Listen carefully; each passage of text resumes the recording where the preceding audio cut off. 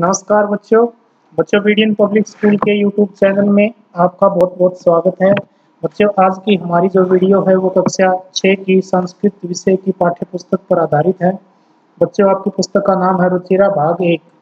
बच्चों, हमने पिछली वीडियो में इस पुस्तक का सातवां अध्याय पढ़ा था। आज की वीडियो में हम अष्टम पाठ यानी आठवां पाठ पढ़ेंगे, जिसका नाम है सुक्तिस बक है ये पाठ का शीर्षक है सुक्तिश बक है सुक्तिश का अर्थ होता है अच्छी युक्ति यानी अच्छी बात, बक यानी कहना, अच्छी बातों को कहना, इस पाठ में हम सीखेंगे। चलो, पढ़ना शुरू करते हैं। पहला श्लोक है इसमें कि उद्यमेन ही सिद्ध्यंति कार्याणी न मनोरथई न ही सुप्त सिंह से प्रविशंति मुखे मृगा। इसमें बताया गया कि उद्यमेन ही, परिश्रम से ही सिद्ध्यंति सिद्ध होते हैं, कार्याणी प्रत्येक कार्य, न मनोरथी, इच्छाओं से नहीं। इसमें मेहनत करने का संदेश दिया गया है कि मेहनत करने से या परिश्रम करने से हमारे प्रत्येक कार्य सिद्ध होते हैं, केवल इच्छाओं से नहीं। इच्छा मात्र से सिद्ध नहीं होते प्रत्येक कार्य, केवल मेहनत से ही सिद्ध होते हैं। उदाहरण दिया है, न ही सुप्त सिंह से प्रविशंति मुखे मृगा। मृगा होते हिरण सिंह से यानी शेर के मुखे यानी मुख में यानी सोए हुए शेर के सुप्त सिंह से यानी सोए हुए शेर के मुख में जो हिरण होता, वो अपने आप प्रवेश नहीं कर सकता। दोबारा देखो कि मेहनत से सारे कार्य सिद्ध होते हैं, इच्छाओं से नहीं। जिस प्रकार सोए हुए शेर के मुँह हमें हिरण अपने आप प्रवेश नहीं कर सकता। हिरण को प्राप्त करने के लिए शेर को मेहनत करनी पड़ेगी। उसी प्रकार प्रत्येक कार्य को सिद्ध करने के लिए पुरुषार्थ अनिवार्य होता है। अगला श्लोक है, पुस्तके पठित पाठ है जीवने नैव साधित किम भवे तेन पाठने जीवने यो न सार्थक। है पुस्तके यानी पुस्तक के अंदर पठित पढ़ा गया पाठ यानी अध्याय, पुस्तक के अंदर पढ़ा गया अध्याय जीवन यानी जीवन में नैव साधित। जीवन में जब तक सिद्ध नहीं होता, यानी जीवन में जब तक नहीं ढलता, हमारे व्यवहार में वह जब तक नहीं आता, किम भवे तेन पाठने जीवने योने सार्थक है। यानी जीवन में पढ़ा हुआ पाठ अगर जब तक व्यवहार में नहीं आएगा, हमारे नेचर में नहीं आएगा, वह सार्थक सिद्ध नहीं होता। दोबारा से देख लो, पुस्तक में पढ़ा गया पाठ अगर जीवन में, व्यवहार में नहीं आता तो वह पढ़ा हुआ पाठ सार्थक सिद्ध नहीं होता। अगला है, प्रिय वाक्य प्रदान सर्वे तुष्यंती मानव, तस्मात ही प्रियम ही वक्तव्यम वचने का दरिद्रता। प्रिय वाक्य प्रदान प्रिय यानी मधुर वाक्य यानी बातचीत वाक्य को प्रदान बोलने से यानी मधुर वाणी बोलने से सर्वे यानी सभी प्रकार के जीव तुष्यंती, खुश, प्रसन्न हो जाते हैं। प्रिय वाक्य बोलने से, मधुर वाणी का प्रयोग करने से सभी प्राणी प्रसन्न हो जाते हैं। तस्मात ही प्रियम ही वक्तव्यम वचने का दरिद्रता। तस्मात तो किस लिए? प्रिय वाक्य बोलने में दरिद्रता का होना किस लिए? यानी प्रिय वाक्य बोलने में गरीबी कैसी? ये कहा गया कि हमें प्रत्येक व्यक्ति के साथ मधुर वाणी का ही प्रयोग करना चाहिए, मीठा ही बोलना चाहिए। मधुर वाक्य बोलने में हमें गरीबी या कृपणता नहीं दिखानी चाहिए। क्यों? क्योंकि प्रिय वाक्य बोलने से ही सभी प्राणी प्रसन्न होते हैं, खुश होते हैं। अगला देखो, गच्छन पिपीलको याति योजना नाम सतान्यपि अगच्छन वैतनयो अपि पदम एकम न गच्छति। गच्छन यानी जाते हुए, पिपीलको। चीटा। एक चीटी होती है, ये है नर चीटा।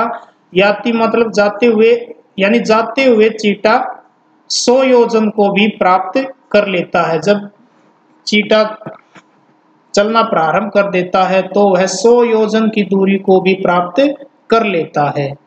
और अगछन न जाते हुए भी न जाते हुए वैतन्यो यानी गरुड़ भी। गरुड़ देवता भी अगर न चले तो वह एक कदम भी आगे नहीं बढ़ सकता।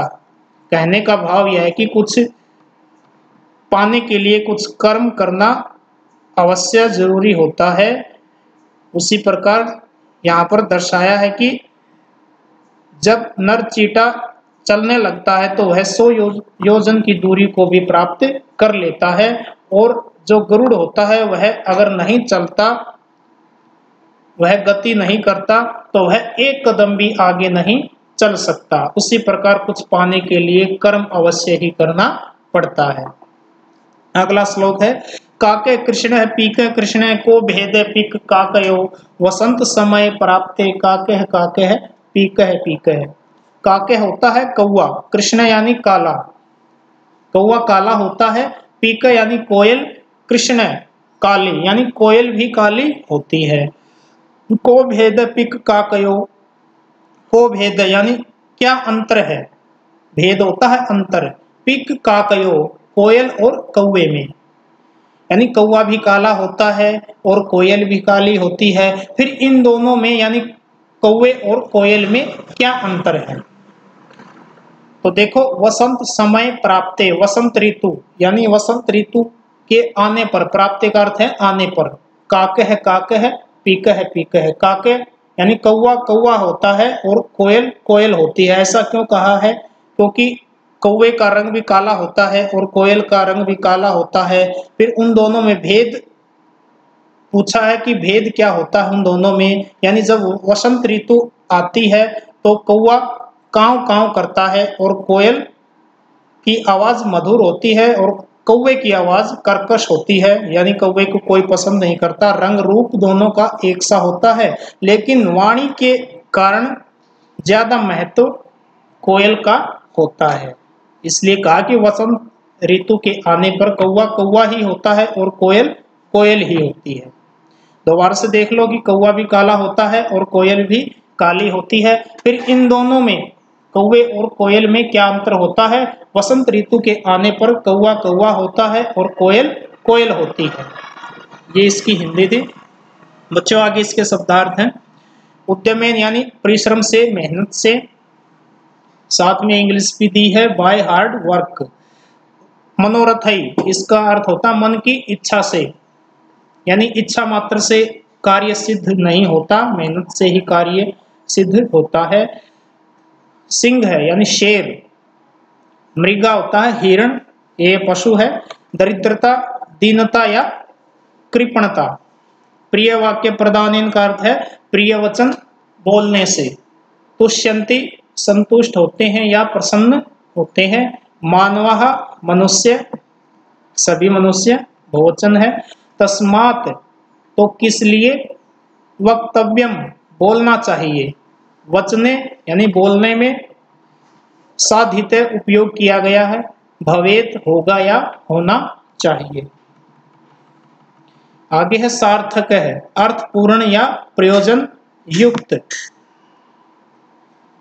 काके है होता है कौवा, कृष्ण है, काला, पिक यानी कोयल, पिक काकयो, कोयल और कौवे में दोनों में क्या अंतर बताया था? प्राप्त यानी आने पर गच्छन जाता हुआ पिपीलक है नर चीटी। एक मादा चीटी होती है, एक नर चीटी होती है। याति माने जाता है। योजना नाम। योजना नाम कहते हैं चार कोषों का, यानी चार कोष में लगभग बारह किलोमीटर होते हैं। शतानी। सो। अगछन न चलते हुए, अर्थात न जाते हुए वैतने का होता है।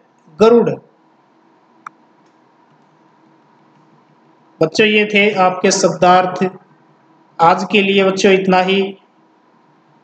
ये पाँच श्लोक थे। आपने इसकी हिंदी अपनी कॉपी में नोट करनी है और इन शब्दार्थों को भी और याद रखना है। आज के लिए बच्चों, इतना ही।